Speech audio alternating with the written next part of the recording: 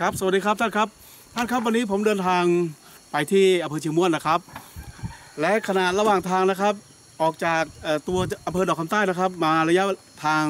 35 กิโลเมตรนะครับ ก็จะถึงบ้านล่มจิตนะครับ ซึ่งอยู่ตำบลหนองลมอำเภอดอกคำใต้นี่เองนะครับ ก่อนที่เราจะเดินทางไปเชียงม่วนนะครับ ที่นี่มีข้าวโพดเขาเรียกข้าวโพดอะไรนะครับข้าวโพดเอ่อข้าวโพดสาลีข้าวโพดสาลีนะครับ ขายอยู่ที่ริมทางนะครับ เราไปชมกันดีกว่า ตามผมมานะครับ ตามผมมาครับนี่ครับทางพี่น้องอชุมชนบ้านร่มจิตนะครับ ซึ่งมีอาชีพเกษตรกรนะครับ แล้วก็ปลูกข้าวโพดพื้นที่กว้างใหญ่ไพศาลนะครับ อาจจะเป็นอาชีพหลักของบ้านร่มจิตพี่น้องประชาชนบ้านร่มจิตทีเดียวนะครับ แล้วก็ท่านได้นำข้าวโพดดิบๆนะครับ มามานึ่งนะครับ มานึ่งแล้วก็ จำหน่ายให้กับผู้ที่เดินทางผ่านไปผ่านมานะครับ เชิญมาสักนิดนะครับ มาชมข้าวโพดหน่อยนะครับ เดี๋ยวเราไปคุยกับพี่เขาหน่อยนะครับอันครับปลูกข้าวโพดกี่ไร่ครับพี่นี่ครับ ประมาณอุทัยเจ็ดไร่ประมาณเจ็ดไร่ใช่ไหมครับ อันนี้เป็นเป็นข้าวโพด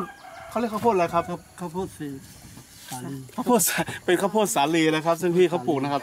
กี่เดือนถึงจะเก็บได้ครับสองเดือนครึ่งสองเดือนครึ่งถึงเก็บได้นะครับ ก็นอกจากที่เราขายเป็นนึ่งนึ่งขายขายดิบๆนี่นะครับ ครับอ่า ดิบก็ขายก็ขาย นึ่งก็ขายแล้วก็ถ้าหากว่ามันมันแก่แล้วก็เก็บ เก็บขายได้ให้ใช่ไหม ไก่ให้หมู ให้เป็นอาหารสัตว์ด้วยครับ ให้ไก่ให้หมูครับ นะครับ เป็นอาชีพอาชีพหลัก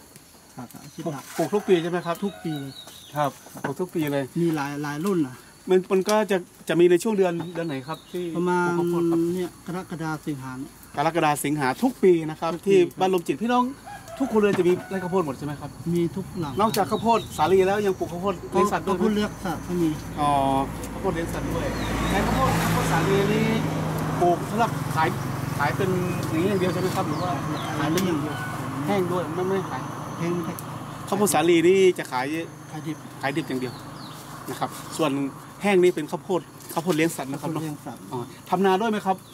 นาไม่ได้ทนาไม่ได้ทำเนื่องจากว่าไม่มีพื้นที่นาเป็นภูเขาำแต่ใช่ป่ะครับ แต่มีนาให้เขาทำมาแบ่งกันกินอ๋อแบ่งกันกินนะครับแล้วกล้องมาทางนี้หนะครับ มาดูทางป้าป้าๆเขากำลังแกะข้าวโพดเลยครับ อันนี้ถุงอ่าจำหน่ายถุงละเท่าไหร่ครับยี่สิบบาทถุงละ 20 บาทนะครับ เอาไปอ่านึ่งที่บ้านนะครับ ต้มแล้ว แล้วก็ก็มีนึ่งแล้ว มีต้มต้มต้มเสร็จด้วยนะครับนึ่งอ่านึ่งนึ่งนะฮะการนึ่งด้วยอุ่นๆร้อนๆนะครับอ่าครับ